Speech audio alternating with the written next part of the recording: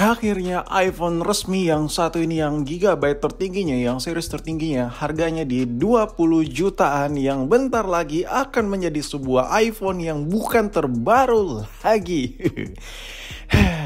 gimana gimana? Kalian yang lagi nontonin video ini apakah sudah ada yang punya iPhone 15 Pro?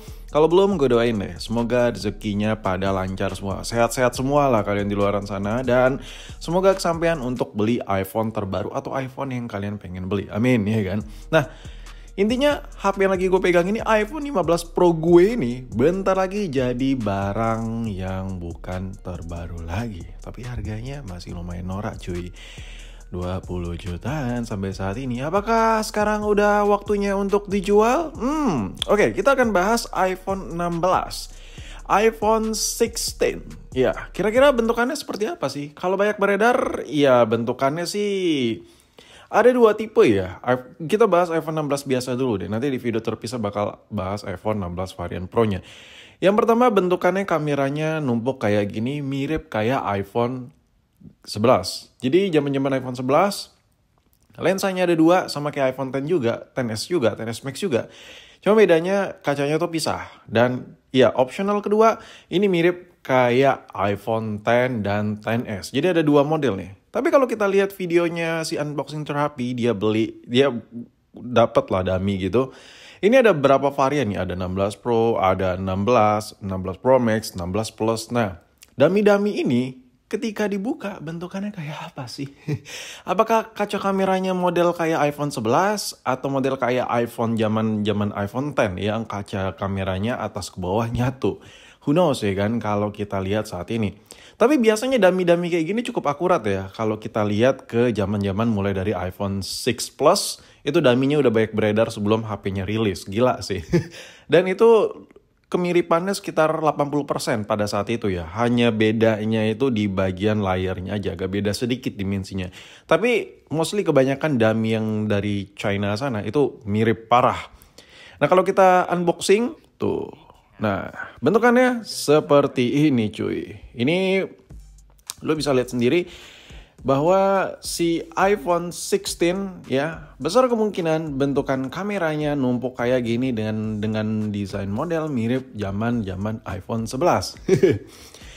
Sebenarnya gimana ya kalau ngomongin soal desain gue serahin ke kalian semua lah. Suka atau tidak tulis aja di kolom komentar. Tapi kalau lu nanya ke gue B, B aja sih gue ngeliatnya. Kagak ada yang fresh fresh gitu ya kan Intinya besar kemungkinan iPhone 16 bentukannya seperti ini dari belakang. Yang ngebedain dengan iPhone-iPhone terbarunya, ya yang sebelumnya Gen 15, yang 15 biasa kameranya model silang gitu, kayak gini.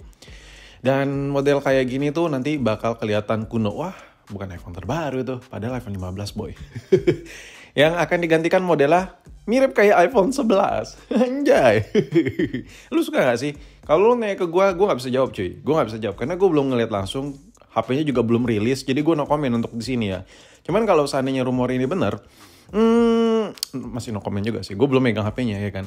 Oke, tapi kalau kita bahas secara desain secara keseluruhan, kameranya lumayan gede loh. Ini gue dapat gambar dari China juga, ya forum-forum di luar negeri ini kameranya lumayan gede, jadi memang bentukannya kayak iPhone 11, 11 biasa gitu. Cuman ini lensanya gede banget anjir, kayak gede banget. Gue pikir, wah ini kayak downgrade kali modulnya karena yang sebelumnya boba 3 biji sengaja ditumpuk model silang sebenarnya yang versi non boba karena modul sensornya itu terlalu besar. Dan gue pikir, ah ya downgrade nih kameranya. Tapi setelah gue cari-cari gambar perbandingan ya, ini lumayan gede cuy kamera boba itu kayak setara gitu, ya kan? Anjay. ini benar-benar modulnya gede ya dan bakal berasa banget sih ketebalan lensanya. Oke itu sekilas masalah berdesain kamera. Ini dapat fitur-fitur gimmick, always on display dan action button yang layaknya kayak iPhone 15 Pro yang saat ini. Sebenarnya bagi sebagian orang ini berguna sih, tapi buat gua gue nggak terlalu pakai fungsi ini makanya gue bilang gimmick ini bagi gue secara personal ya. Tapi ini ngebantu bagi sebagian orang. Tapi ya udahlah alhamdulillah lah ya. Fitur ini kebagian di iPhone 16 versi biasa. Dan Kata-katanya sih rumor-rumor yang beredar 16 biasa juga nanti bezel udah titanium semua. Mungkin ya iPad juga bakal nyusul nih titanium ya kan nih. Masa si Apple kalah sih sama anak motor buatnya full titanium ya kan? Full titan nih bos, senggol dong. Anjir.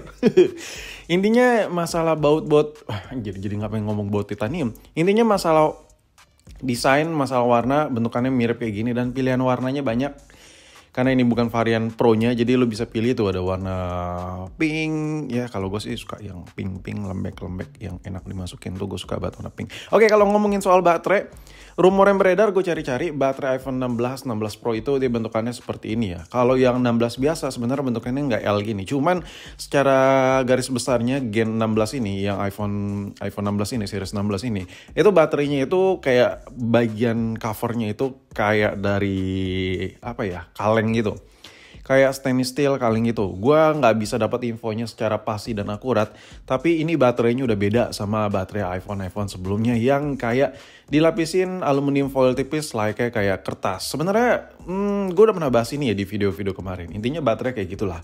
Nah kalau kita lihat cek spesifikasinya, ini di GSM Arena baru yang varian 16 Pro Max yang muncul untuk perspek-spekan iPhone 16 Pro saat video ini gue buat. Jadi lo bisa cek aja tuh. Untuk spesifikasinya gue nggak tahu ya ini bener real atau tidak. Bocoran dari orang terdalam dari intinya segala inti atau tidak. Never knows, who knows ya, gue gak tahu. Tapi kalau masalah baterai, kita lihat dari spesifikasinya, iPhone 16 biasa itu tembus di 3355 mAh. Yang menurut gue which is ini sangat-sangat hmm, apa ya sangat-sangat bisa diandalkan. Lu buat komentar mending anjay, sok kaya banget gue. Baterai 3300 itu jangan lu samakan dengan Android ya. Contoh kayak iPhone 15 Pro gue ini baterai di 3200-an kalau nggak salah 3200 mAh sekian. Ini seharian kuat banget. HP ini seharian kuat banget.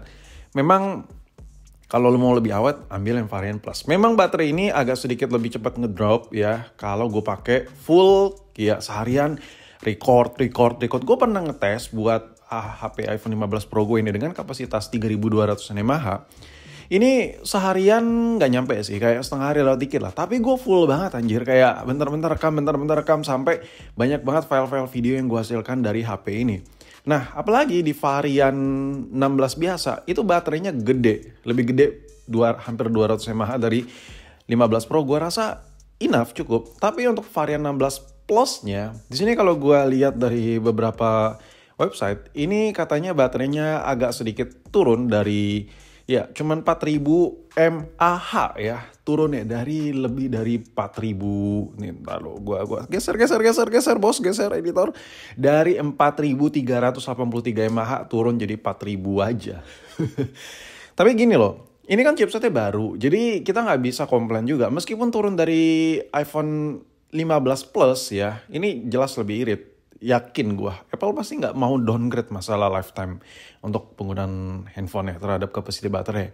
Dan of course iOS 18 hadir di iPhone 16. Ya karena ini udah per AI AI-an lah ya. Kita yang megang iPhone 15 biasa yang harga lebih mahal dari harga motor secondnya udah nggak kebagian fitur ini ya kan. Tapi di sini chipsetnya maju sekali, beda banget sama gen-gen yang non pro yang biasa chipsetnya dianatiriin ini benar-benar upgrade juga ya karena AI bos ya Aduh, semua karena AI, jadi Apple tuh udah nggak pelit boy, udah ngasih RAM yang gede. RAM-nya sekarang udah setara dengan Android harga 5 juta dengan skor Antutu di atas 1 juta. Gila. Baru kali ini Apple tidak pelit sama RAM. Biasanya tuh yang non-pro non-pro 4 GB, 6 GB, 4 GB, 6 GB. Sekarang RAM-nya 8 GB yang varian non-pro-nya. Ah, masih berani senggol? Enggak sih. Tim Android mah RAM-nya 12 GB sekarang, ya kan? Ya enggak sih? Nah, jadi eh, kapasitas RAM si iPhone 16 ini setara dengan Android harga 5 jutaan yang beredar saat ini. Ya, kesimpulannya ya. Ah, worth it nggak sih beli iPhone di bawah Gen 16 pada saat ini? Sebenarnya kalau lo mau beli, tunggu sampai hadir varian resminya resmi varian 16 biasa dan 16 Pro resmi bener-bener resmi mi mi mi masuk di Indonesia baru deh lu sikat iPhone 15 Pro. Buat kemarin nungguin banget iPhone 15 Pro karena ya mungkin ya ya udahlah udah bakal lebih murah sekian sekian juta kalau lu udah nunggu iPhone yang paling baru masuk. Next, gue bakal bahas beberapa rumor lagi ada iPhone SE, ada iPhone 16 Pro dan 16 Pro Max yang belum gue bahas. Gue nggak bisa salah-salahan, gue harus cek cek cek cek dulu. gue harus cross check dulu beberapa data yang harus gue validasi sesuai dengan sistematis otak gue ya. Biar gue nyernanya gampang dalam bentuk sebuah konten video. Oke, sampai jumpa di video berikutnya.